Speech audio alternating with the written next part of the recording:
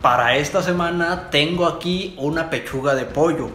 Como te puedes dar cuenta, ahí tiene unas membranas, unos pellejitos que para esta preparación no me sirven.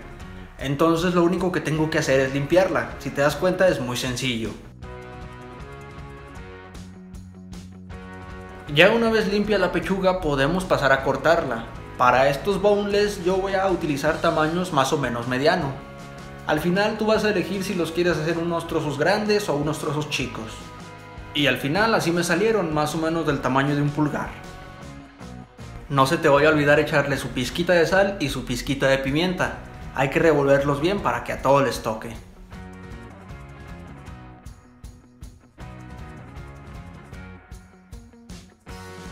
Mientras tanto, en un pequeño tazón vamos a vaciar lo que vendría a ser 60 mililitros de leche, un tercio de taza y una pieza de huevo. Esto los vamos a revolver hasta que ambos ingredientes se integren. Y es justo aquí donde vamos a vaciar todo el pollo mezclándolo suavemente y aquí lo vamos a dejar tapado en refrigeración por media hora. Esto es para que se marine.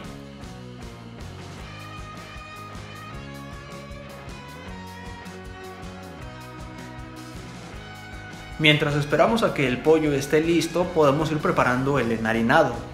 Para ello yo vacié en un recipiente medio kilo de harina y una caja completa de maicena o fécula de maíz. Si te das cuenta son cerca de 100 gramos.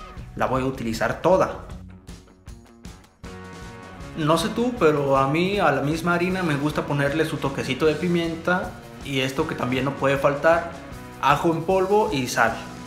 Todo esto lo vamos a mezclar y lo reservamos hasta que el pollo esté listo no serían unos boneless si no le metemos su respectiva salsa barbecue. Y qué mejor que nosotros hacerla. Entonces te voy a enseñar cómo. En una cacerola vamos a vaciar un tercio de taza de agua o 60 mililitros, un buen chorro de catsup y bastante salsa inglesa.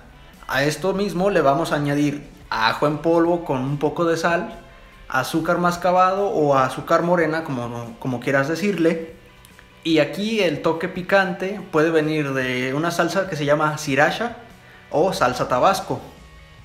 Tenemos que ponerla a fuego muy muy bajo, al mínimo, y vamos a estar revolviendo hasta que todos los ingredientes se integren por completo.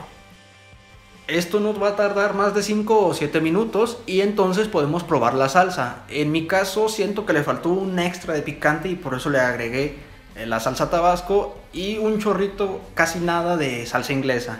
Seguir revolviendo por otros 5 minutos hasta que la mezcla se puso un poco espesa, más o menos así como te aparece en video. Para el tiempo que nos tardamos haciendo la salsa y preparando el enharinado, nuestro pollo ya está listo. Entonces vamos a pasar a enharinarlo, pero ojo, tenemos que escurrirle el exceso de la mezcla y también tenemos que quitarle el exceso de harina. ¿Por qué? Porque cuando lo metamos al aceite, toda esa harina que no se quedó pegada, pues va a irse al fondo y se va a quemar y entonces el sabor se nos puede alterar. Como pudiste ver, vamos a ponerle bastante aceite suficiente para que se llegue a cubrir el boneless y lo vamos a calentar a fuego medio. ¿Cómo saber cuando ya esté listo? Arroja un pedazo de tortilla o pan y si este flota al momento, significa que ya está al punto. Es aquí cuando podemos vaciar nuestros boneless. Yo puse de 7 u 8 piezas por tanda.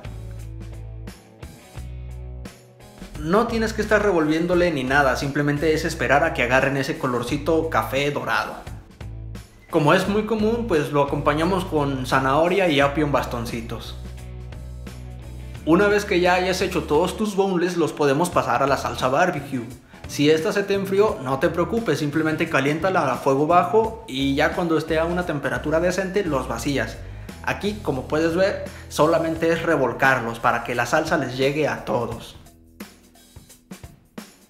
Y por último lo emplatamos a nuestro gusto. A mí me gusta agregarle un poquito de ajonjolí. Siento que le da un extra de sabor.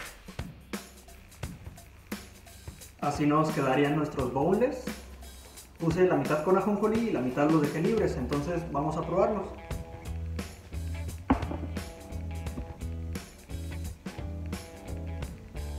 Provecho. Mm.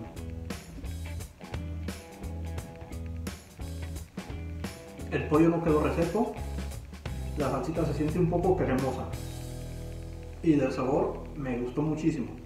No soy muy fan de las barbecues, pero pues esta me gustó. A esto lo recomendaría mucho para botanear en una peli, para juntarte con los compas, para ver algún partido. Es muy versátil y si te das cuenta es muy fácil de hacer. Y esta receta se me hizo bastante rendidora. Yo pienso que con una pechuga ajustas para unas dos personas más o menos.